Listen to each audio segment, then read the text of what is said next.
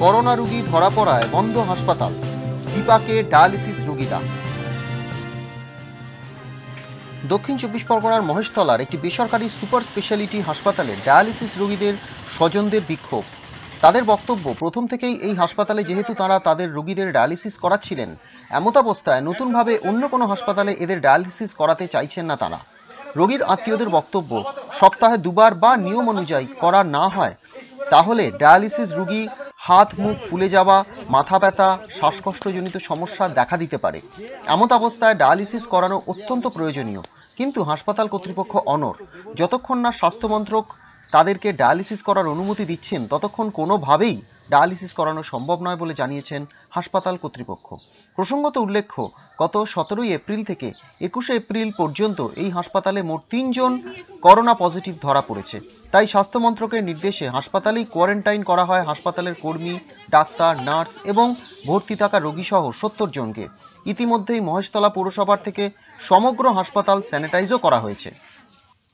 সমস্যাটা হচ্ছে যে হসপিটালটা বন্ধ হয়ে গেছে।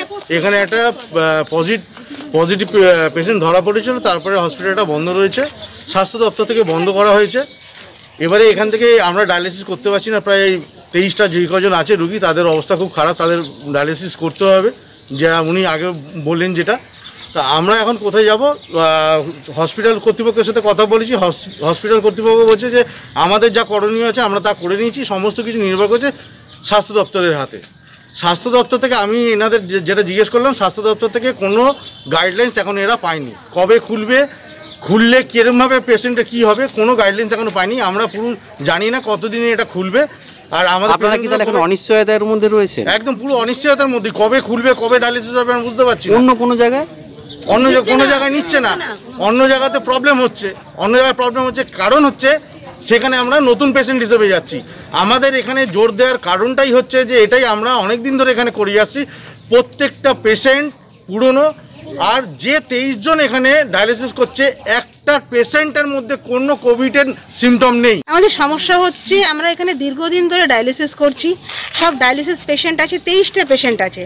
অল অফ এ সাডেন হঠাৎ করে এখানে করোনার কোনো পেশেন্ট আসতে ডায়ালিসিস ইউনিটটা পুরো বন্ধ হয়ে গেছে। এবার ডায়ালিসিস পেশেন্টের প্রবলেম হচ্ছে ম্যাক্সিমাম তিন থেকে চার দিন। চার দিনের বেশি ডায়ালিসিস পেশেন্টকে কিন্তু বাড়িতে রাখা যায় না, যদি না ডায়ালিসিস প্রসেসটা শুরু করা হয়। এবার প্রত্যেক কারোর সোম, বুধ, শুক্র কারোর মঙ্গল, বৃহস্পতি, শনি এরকম করে প্রত্যেকের উইকলি দুটো বা তিনটে ডায়ালিসিস হয়। এবার হঠাৎ বন্ধ হয়ে যেতে সব থেকে বড় বন্ধটা কি কারণে হয়েছে? বলছে এখানে করোনা পেশেন্টের আবির্ভাব হয়েছে করোনা- করোনা পেশেন্ট এসেছিল। সেটা কি হাসপাতাল কর্তৃপক্ষ বন্ধ করেছে নাকি স্বাস্থ্য মন্ত্রকের নির্দেশে বন্ধ হয়েছে? হসপিটাল মোটামুটি সাপোর্ট করে গেছিল কিন্তু স্বাস্থ্য দপ্তর থেকে এটা বন্ধ করা হয়েছে। কর্তৃপক্ষ বলছে আপনারা স্বাস্থ্য দপ্তরে যান। স্বাস্থ্য দপ্তর কি বলছে? আমরা পরশু দিন ওনারা বলেছেন যে যদি টেস্ট নেগেটিভ আসে আর টেকনিশিয়ান যদি নেগেটিভ আসে তাহলে ইউনিটটাকে আবার স্টার্ট করা হবে। দক্ষিণ চব্বিশ পরগনা থেকে প্রীতম চৌধুরী টাইমস বাংলা।